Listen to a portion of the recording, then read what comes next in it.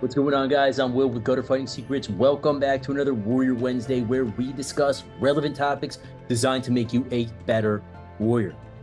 Today's topic of discussion for Warrior Wednesday is going to be the real world gray man, blending into any environment and going undetected. Man, that sounds freaking cool, doesn't it? Like, that sounds like some ninjutsu shit. that sounds like I am a. Like I'm operating and like I can just like be invisible. I've got like the magic ninja spell where I can just and then I like the smoke comes and I'm like now no one can see me. This is such bullshit. Okay, and um I've just I've seen so much fucking stupid shit on like gray man theory and all of these tactical freaking nerds talking about like their concepts on blending in by like wearing a certain shade of blue because it's harder for the eye to see or like you know obviously like the old cliche of like wear gray grayish clothing or a gray backpack because it's like goes undetected and you'll be more forgettable and like a bunch of stupid shit, man. Like wear clothes without a logo on it so that people will forget you easier. Like, all right, I don't know what you look like, but like, even if I wear clothes without a logo on it, dude, people ain't fucking forgetting me, man. Like, I got like a weird, I got like a weird vibe going on sometimes, depending on where I am. Not to mention the fact that, like, you think if it matters if I like have a logo on me or not, and I'm walking down the streets of like Delhi, India? No, like it, it doesn't. Um, there is a lot of frankly just pure nonsense um espoused by like a lot of people who I don't think have ever done much uh, traveling, let alone any operating, right? Like there's a lot of BS. So this video, this Warrior Wednesday, I'm gonna get into some like real world stuff with you. I've I've spent a lot of time out of the country um, that is CONUS, right? And I've been to some like pretty shady places where it would it has behooved me very very much for my personal safety to blend into that environment. And if I can learn how to do this uh looking like this, then so can you, okay? And you can do it stateside as well or wherever you're from. I know we got a lot of guys from the UK that like to listen to us, Germany, you know, other parts of the world as well. Listen, this is going to apply to anybody. It doesn't matter if you're what color skin you are, like what build you have, what gait you have. Like, I got a weird posture. I got like, I'm a memorable type of dude. So it's important that I really work on blending into the environments the best way that I can.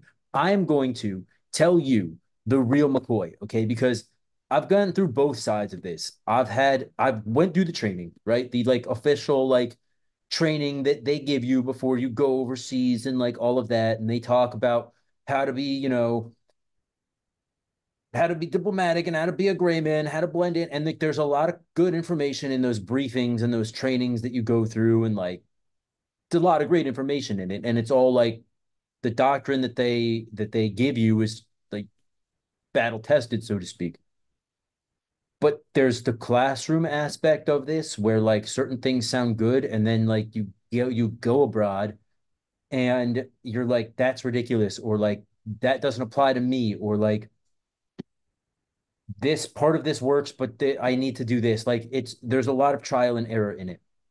So let me give you what i've learned by going around the world multiple times and what i believe to be some of the best practices when it comes to blending And Now, again, this doesn't necessarily have to be that you're going overseas to any environment, permissive, non-permissive, semi-permissive. You could you could use this in your own country for a shit hit the fan situation too. It all applies. All right. So with all that being said and kind of out of the way, let's let's jump into this. Okay. So the real world gray man I remember actually one time I was uh I was in the UK and I was sitting through one of these lectures.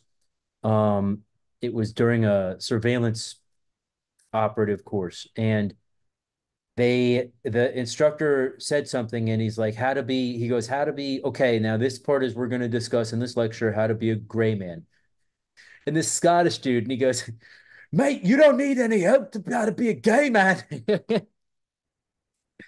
i'll never forget that and the instructor this like proper british dude he's like what what great man you bloody idiot i forget bloody something right it was it was fucking funny dude um, so I always think of that when I hear the word gray man now. Mate, you don't need any help to become a bloody gay man.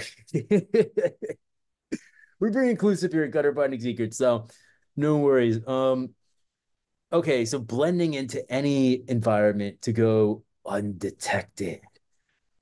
This is bullshit because you will be detected if you don't fit the baseline. Um, it's not always about fitting the baseline, but it's more about matching the baseline and like the sun over in this part of the world is insane. Let me just there we go.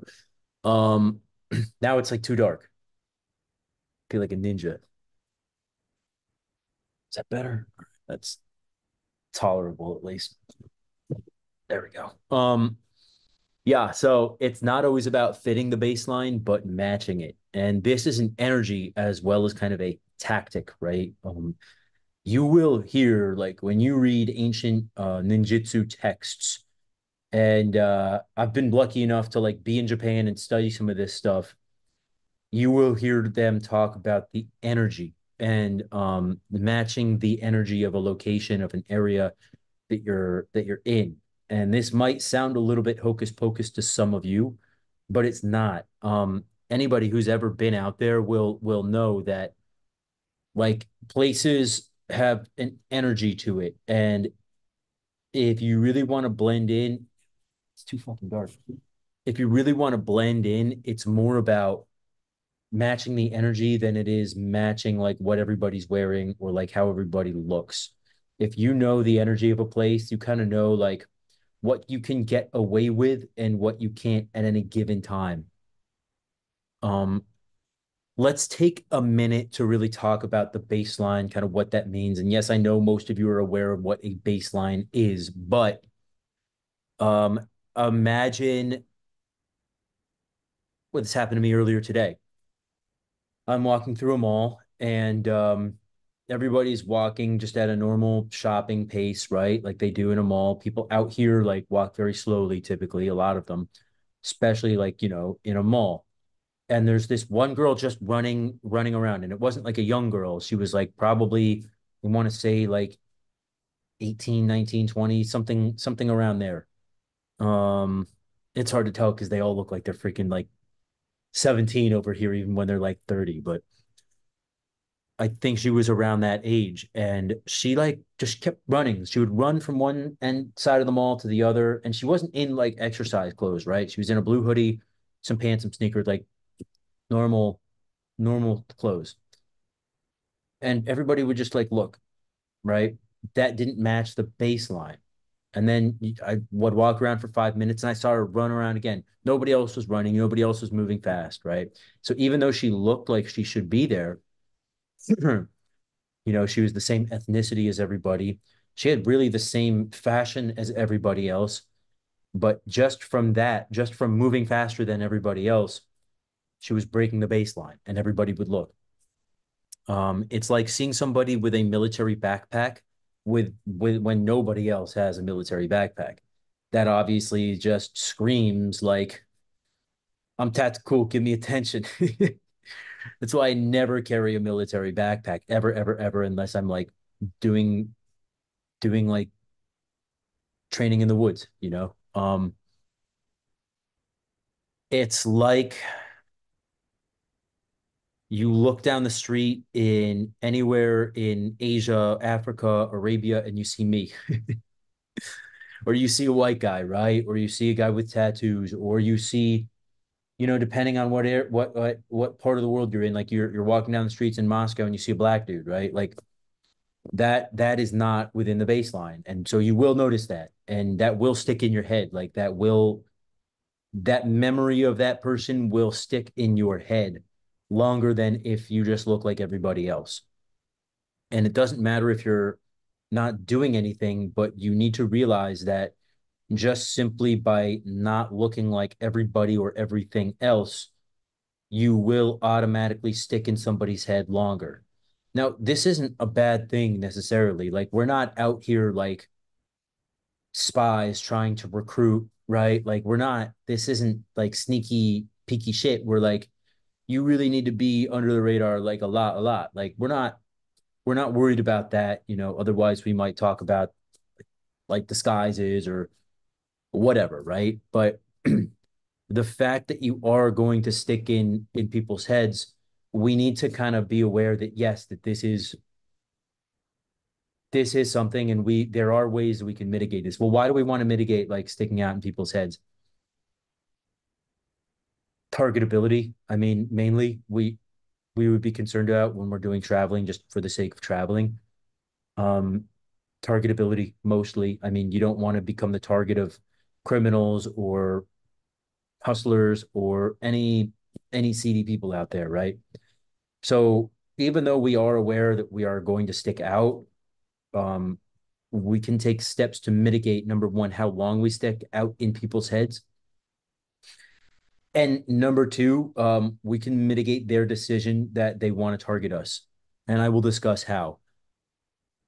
When you don't fit the baseline, you stand out. But we can make standing out its own type of camouflage. Again, we have to observe the baseline and try to match it the best we can. Now, this is about knowing the local energy. Again, everything has energy. Every city has its own type of energy. Every every couple of blocks within that city potentially could have its own energy. I mean, you go to Jerusalem and you've got the Armenian quarter, you've got the Jewish quarter, you've got the Arab quarter, you've got, I believe, what's the Greek quarter. Like, you've got different energies and different cultures and different vibes within a very small geographical area, um, just in that one city. And other cities are like this too. Obviously, like San Francisco has Chinatown, so does New York, right? Um, certain there, you know, certain place like Bangkok has Little Arabia, Chinatown as well. Like everywhere has a Chinatown.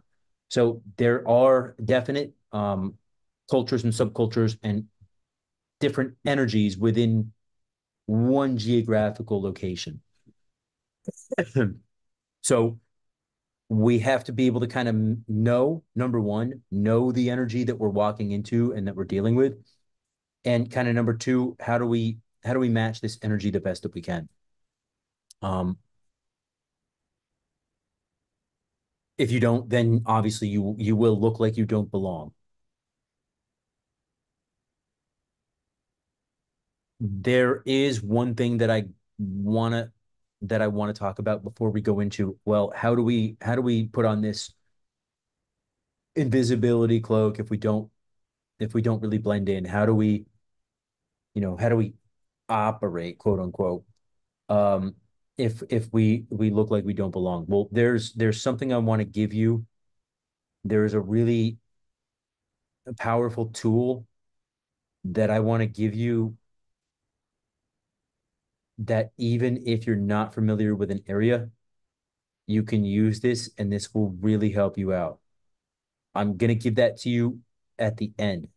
So stay with me. Okay. Now, we need to make ourselves essentially, in order to put on this cloak of invisibility, or I call it the expat cloak, we basically need to make it look like we belong there, like we have been there for some time. We are familiar with the area. We more than likely, and this is what people are going to be thinking, we know the area. We probably have friends and local contacts within the area. We know the rules. We know what's right, what's wrong. And if you mess with us, like it's like messing with a local. You you will be held accountable for that. I'm not some tourist that you can hassle and hustle and fuck with or potentially rob or whatever or worse. And then I leave a week later and you get away with it. No, I'm I'm I'm living here. I've been here for a year or two or three. And I know your fucking games. Like don't don't mess with me, find somebody else. Find a softer target, right? I'm a hard target, essentially, is what we're kind of trying to say here. Now, Languages is absolutely one of the best ways that we can fit the baseline. However, look, I'm here to tell you firsthand, you can't learn all the languages. And number two, even if you do learn the language, that's no guarantee that people aren't going to mess with you, right? Because even if you are, like for me personally, I'm a white dude with tattoos who speaks Arabic. When I'm in the Middle East, uh, in certain countries, they don't give a fuck I speak Arabic. I'm still a white dude who like doesn't belong there and they know I haven't been there for a long time. So it's also incredibly difficult to like honestly, and I'm I'm being honest with you, um, it's difficult even after three months in a country to like learn the language. Um, you will be able to learn a handful of things, but still really not enough to communicate. So unless you are deciding to go somewhere for like a year's time or settle somewhere, um, learning the local language is not really that feasible. You can learn a handful of sentences, which I do recommend, but it's, you know, you will still be uh, an outsider. Local slang, grammar can also be uh, a really good thing. So, like, maybe you don't really know the language, but you know a little bit of local slang. That really helps you kind of blend in more and, and make it seem like you kind of belong, right?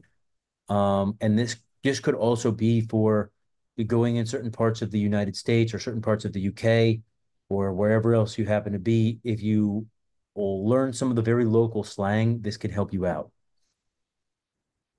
Um, this is all very good for, you know, indigenous camouflage, so to speak.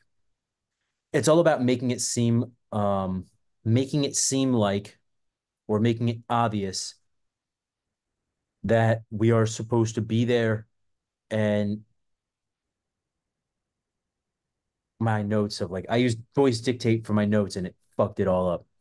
But yeah, it's making it seem like we're supposed to be there. So I'm carrying local shopping bags, dude. Like carry carry a local shopping bag, right? Now I would I would show you the one that I use, but I don't really want to give away my location. so I won't. But um dude, if you carry local shopping bags or local backpacks and things like that, like like what the locals would carry with them, right? Go to like go to the market, like go to the local market and get a secondhand backpack, dude. Like trust me, do it. Okay, don't wear, don't bring your like military MOLLE webbing fucking backpack. For God's sakes, don't do that. Go to the local shop, go to the local souk, the local market, whatever it is, the night market, wherever you are. Get a local secondhand backpack. Number one, it looks used. Number two, it's a local, right? So you'll be good with that. Um, also, like I said, carrying around shit in local like shopping bags because a lot of places, you know, Europe, Asia, uh, not so much the Middle East. Yeah, Europe and Asia, really. Um, they're they're not really giving out a lot of plastic bags anymore, right? Depending on where you go, they like to give you the supermarkets at least they like to give you like the the mesh, whatever, like the reusable bags. Carry your shit around in that. Um, get local clothing, right? Now, you don't need to like get decked out head to toe, right? In in local garb. I mean, in some places you do. Like I've never been to Pakistan, not yet, but I've heard that that's actually the thing to do out there. Um, but you know, I am, you know, I'm not really a proponent necessarily of always wearing the local garb. Like I've been to the Middle East a bunch. I don't think I've ever I've only put on like a thobe and kufiyah, you know, like the man dress and the head thing. Um, I've only done that like twice maybe. Um, you can, but you don't, you know. Anyway, I'm not talking about that, but I, I am talking about like go to the local shops and acquire a t-shirt, right? Like a local type of t-shirt. And I'm not saying like one that would the tourists would use, right? Don't don't don't do that. That's counterproductive. Um, but you can get something with like a local brand on it and and rock that, right? Um, observe what everyone else is doing. I remember when I got to Delhi, India, this is where I took this. Um, I noticed nobody wore shorts, dude. Nobody, nobody. And obviously, like I'm a white tourist, like no one's gonna fault me for wearing shorts, but it just it it looks better if you kind of blend in as much as possible. Um, and it really does give you more of a I don't know, more of an invisibility cloak almost. Notice they're wearing jeans, dude. Dude, it was like I don't know, 48 Celsius when I was there. Like in for Americans, that's fucking hot. Uh, maybe it was like 45, something like that. It was fucking hot.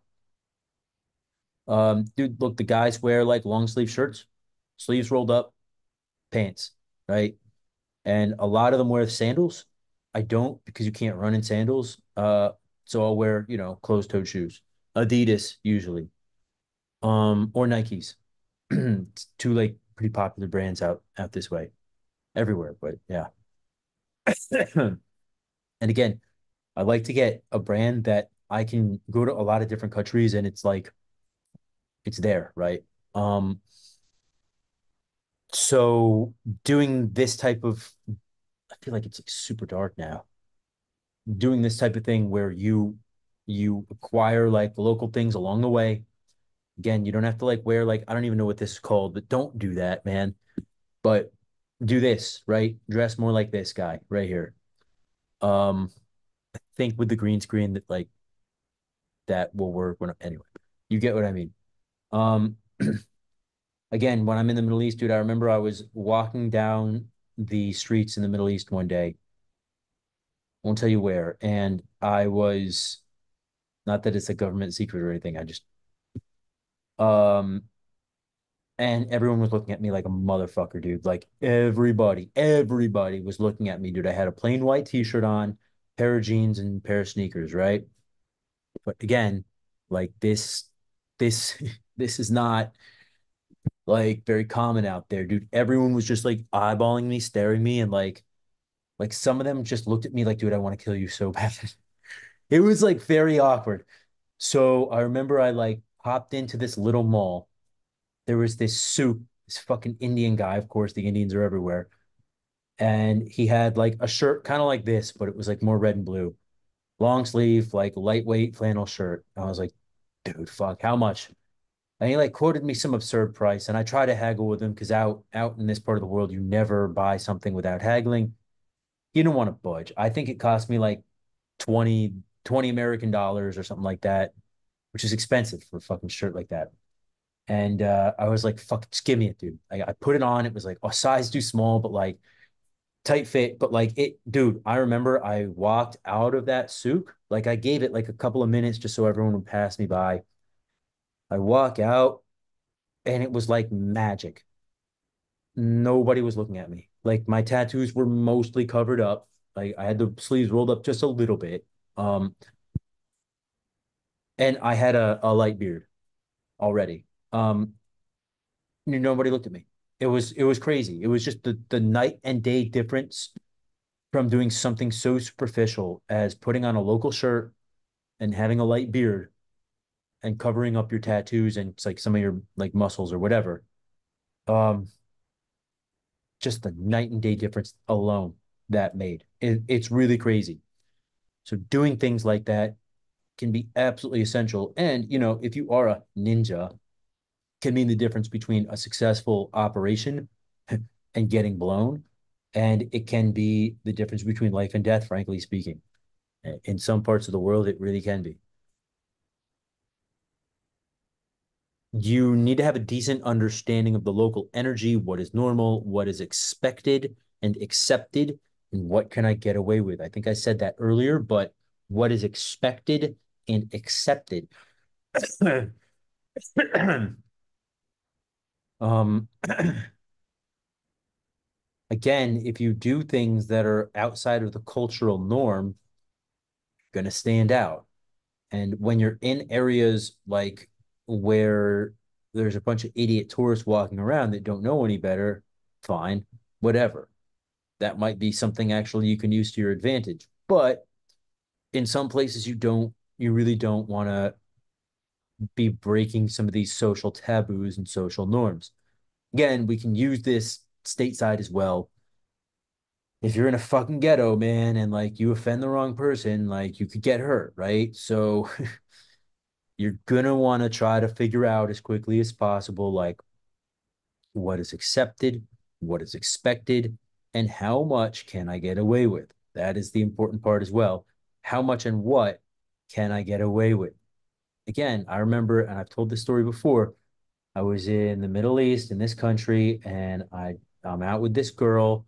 We were really, you know, I was chatting her up, whatever, and we ended up spending the night, like the whole evening together. I'll say it like that, the whole evening together and walking around. Dude, I took her to a, a park, right? It was like a darkly lit park, and uh, of course, I'm trying to like escalate with her. So I lean and I try to, you know, give her a kiss, and she flips out. She's like, "What are you doing?" You can get arrested for that here. Like they will put you in jail. They will deport you, this and that. And I'm like, what? Like, what? Blacks, it's fine. She's like, no, no, it's not fine, dude. Like, and she points to some dude like off in the corner in a freaking kofia and a, a thobe, right? He looks like every other person, old man. She goes, he could be the security service. And I'm like, what the fuck? And she's like, no, like you don't understand. He legitimately could be a security service. Like he legitimately very well could be. And if he sees that, you will be arrested and at the least deported. And I'm like, what the fuck? Like, jeez, better take you back to my hotel room right now, which I did. But no, seriously, like you have to know kind of like how much can you get away with because I wasn't worried, dude. I'm like, whatever, dude. Like, no one's gonna mess with us. I'll kiss you a little bit, you know, make you a little, get you going a little bit, and then I'll bring you back. But no, no, no, like, no, like she was very fucking serious. Like, you cannot get away with that there. Like even in a in a park alone at night, like no. so, you know, knowing where how much you can push your boundaries can really mean the difference again between, you know, freedom and not freedom or whatever, safety and not safety, enjoying yourself and and, and the other. So, knowing where I'm moving on now, knowing where you are going and at least to some degree um I'm sorry, knowing where you're going at least to some degree, right? Knowing where you are going at least to some degree because one thing that like hustlers and other people look for that want to like do you that do you nasty do you dirty right? Like they will look for somebody that looks confused and they don't know where they're going and stuff and it's like the classic con man trick. Oh hey like do you need directions? Hey where are you from? What's your name? Ah you know oh you're from you know california? Oh cool i love i've always wanted to go there and they'll like get talking to you and like gain a little bit of rapport give you compliments and then the next thing you know it somehow you're like getting taken advantage of. Um So we want to avoid that.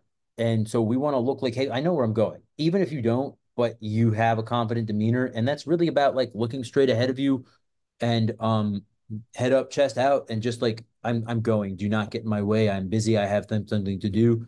I have important business to do. Just don't get in my way. I'm don't talk to me. I'm I'm going. That type of uh, vibration, that that type of energy, that big dick type of energy, like that will that will alone like get you out of 80% of all of the scams and all that shit, right? Um, but it's even better to actually know where you're going. Now, if you are, if you were really actually like operating in any get any given area, this is like uber super important to know like your way around very well.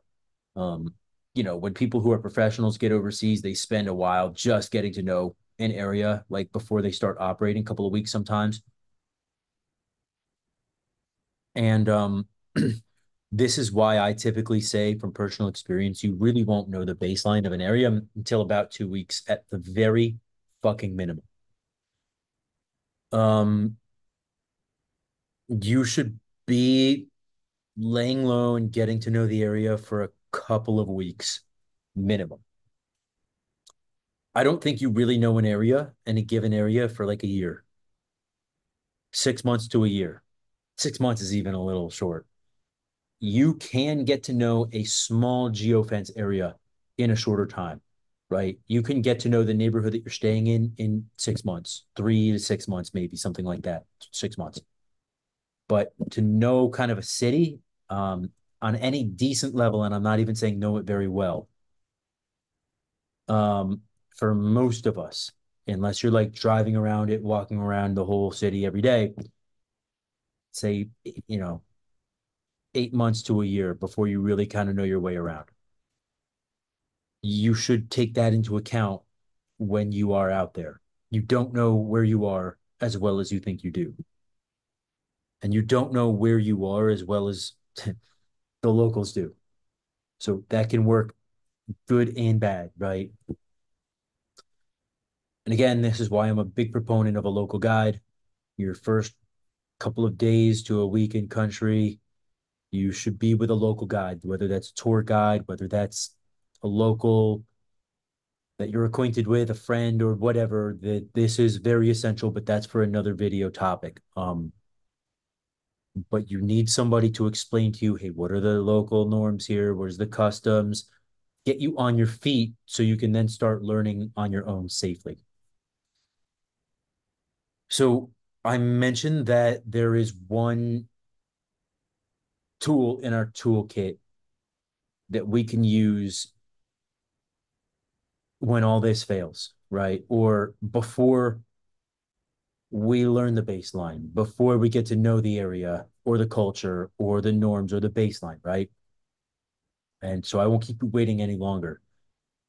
Um, that's fake it till you make it. Walk around with the big dick energy, like I said. Um, and make it abundantly clear through your energy and your body language that you are a big swinging dick. You're not to be fucked with. I'm here on important business, dude. Like, I'm walking, but like, I'm not the one you want to fuck with. I promise. I am here on official business and like, you don't want problems with me. That's the energy that you need to have in your head. Um, and that's the energy that you need to resonate. Now, that will work until it doesn't work.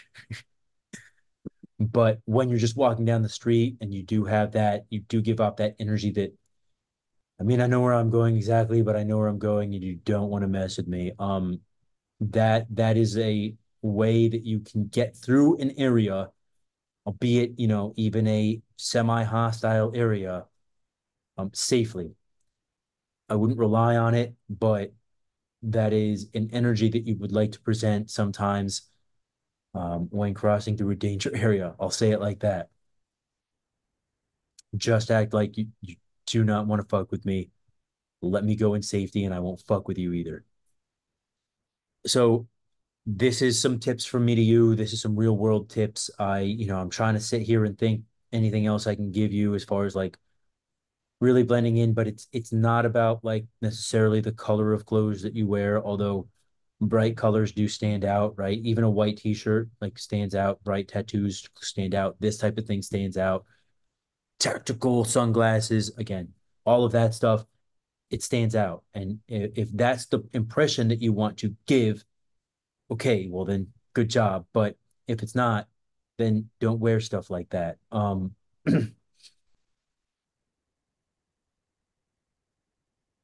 know know kind of how to dress and how to operate and how to act in the environment that you're in, whether that's stateside, whether that's in Europe, whether that's in Asia, Africa, the mid, whatever, right? Eh, fucking Antarctica,